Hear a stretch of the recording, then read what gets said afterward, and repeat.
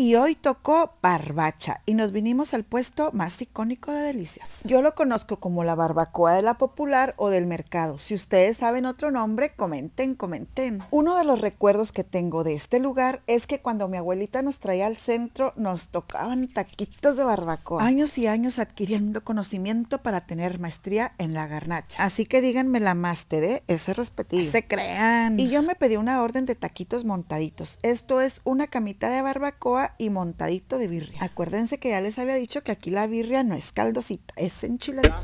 Uh, la la, chulada. Y échale más carnita, porque ahora sí que como dice la canción, es sin miedo al éxito, todo, todo, todo, todo, todo.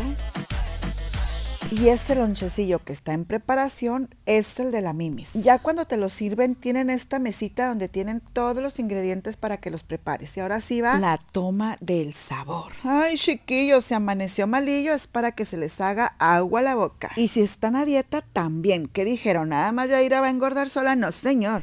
Ellos empezaron en Delicias hace 60 años, pero así seguiditos, seguiditos tienen 40. Abren todos los días excepto 5 días de Semana Santa, Navidad y Año Nuevo. Y si ustedes quieren así por medio, también se los venden. Y ahora sí, vamos a ver qué tal. Ay, miren nomás. Ay, qué rico. Y el chiclito para el aliento. Y un saludo a Carlos González que nos explicó todo. Él tiene 19 años trabajando aquí. Para la conocedera, Yadira Alonso. Gracias por ver. ¡Ey! Él es Carlos, ¿eh? No soy yo.